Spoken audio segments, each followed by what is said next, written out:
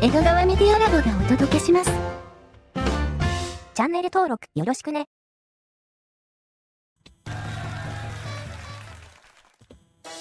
はい、どうもご視聴ありがとうございます。えー今回はですね、渓谷の小さなニュースの詰め合わせ、ミニニュースのコーナー行きたいと思います。はい、えー今日はですね、少なめ3本でございます。まず1本目。こちらね、産地偽装の話ですね。で、日本産が渓谷産にというのは、これはまあまあよくある話。渓谷産ではよくある話ですよ。はい。で、あ、そうなんだ。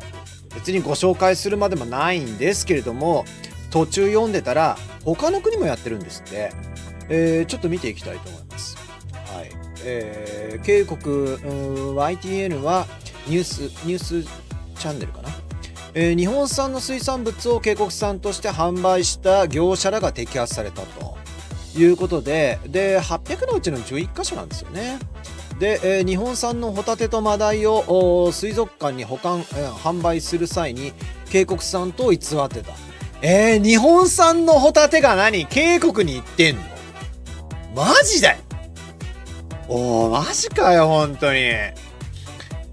いや、回転寿司のさ、ホタテがさ、もう日に日に、ね、年々上がってるじゃないですか。ああ、渓谷が食ってんのか。くそ、マジか。はい、まあ、それはさておきなんですけれども。で、えーこちら。ペルー産のうなぎを渓谷産と表示したということでね。あ、ペルーに謝れと。どこでもやってんだな。やっぱな。日本産だけじゃないんですよね。ああ、うなぎに謝れって感じですよ。ペルーでうなぎ養殖してんのか。天然じゃないよね。はい。ということでね。まあそういう、ほんいろんな国のやつを国産って産地表示してる。国産渓谷産って書いて安心感あんのかな？うん。まあいいや。はい。じゃあ次行きましょう。こちら。えー、次はですねまあ日本でもですねまあ一部あのペーパーストロー。こちらの方ですね。えー、増えてき増えてきたけどやっぱまだまだなのかな？ストロー自体がなくなってますよね。どちらかというとね。渓谷でペーパーストローの価格が2倍になったと。11月 ,11 月からどうしようということでねため息をついているという話題でございます。これ、えーなんでこんな記事になるほどすごいのかというと渓谷さんには法律で決まってるんですよ、えーちょっと見ていきましょう。11月24日から使い捨てプラスチックストロー、紙コップ、濡れた傘を入れるビニール袋などを使用した事業者には、最大300万ウォン、約33万円の過料が課せられるということで。以前、最近かな、1ヶ月か2ヶ月前、あの、ムン前大統領の経営している本屋さんで、使い捨ての紙コップ使ってて、チクられて、えー罰金、過料をね、払うことになったというおどお話どっかのタイミングでしたと思うんですけどもこれが本格的に施行されるということで、えーこれでですね、えー個人カフェの経営者らは苦労している紙ストローは生分解性の樹脂製品が使い捨て用品より高いと。でもそうまあしょうがないよね高いのはしょうがないけどうんまあしょうがないな。で経営者は紙ストローに変えるだけでも費用が2倍以上かかるんですって。ああ。2倍？いや多少ちょっと高くなるんだったらわかるよ。2倍だよ2倍。えー、成分解樹脂の容器は材質によって違うが一般容器よりも少なくとも2倍から3倍高いと嘆いた。まあそりゃ嘆くよな。あこれムン・ジェイン政権の時に決まった法律なんですけどあそりゃ嘆くわって思いましたね。えー、まだまだ早いよ。やっぱこれ見てると。うん。法律でガチガチに規制すんのはやっぱまだ早いかなと。もうちょっと技術が進展してもうちょっとね物量を確保してコスト削減して2倍はもっともっと安くなってからじゃいいんじゃないですか？って思いましたけどね。皆さんどう思いますかね？はい、えー、じゃあ次はですねこちらギョンドクがねなんと、えー怒っているんです。はい。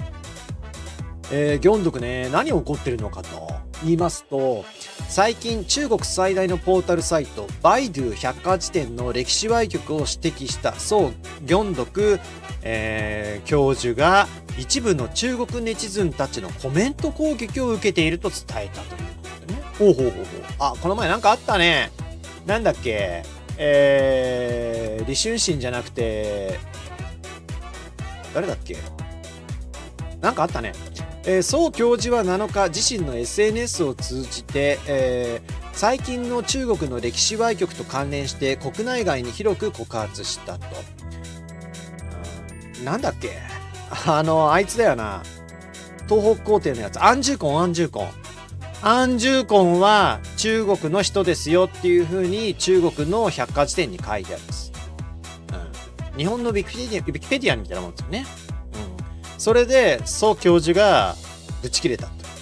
ね。それを指摘したら今度は中国のネチズンからやられたということですね。えー、最近、まあ、関連して、えー、こうそうすると、一部の中国ネチズンたちが DM およびコメントで膨大な攻撃を注いでいるとして、えー、あるネチズンから受け取ったメッセージを公開したと。おどんなことが書いてあるんだ？特に宋教授はいかなる論理もなくただの悪口や脅迫がほとんど。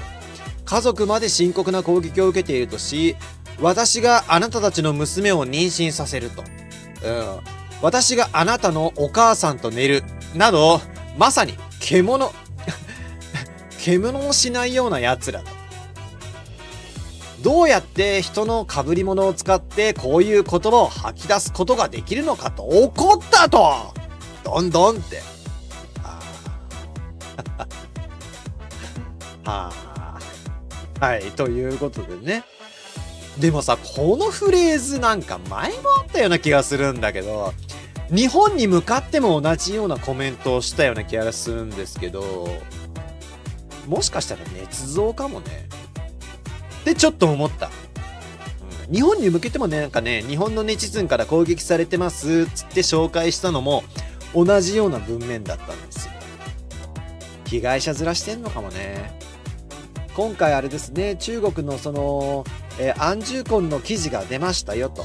で、あ、採用してくれた記事、マスコミが採用してくれた。よしじゃあ次はおかわりだということでね。うん、ちょっとビジネスかもしんないなーなんて思いましたけどね。皆さんはいかがお考えになりましたでしょうか？これで終わりにしたいと思います。えー、ご視聴ありがとうございました。チャンネル登録、評価、ぜひぜひよろしくお願いいたします。それでは、また。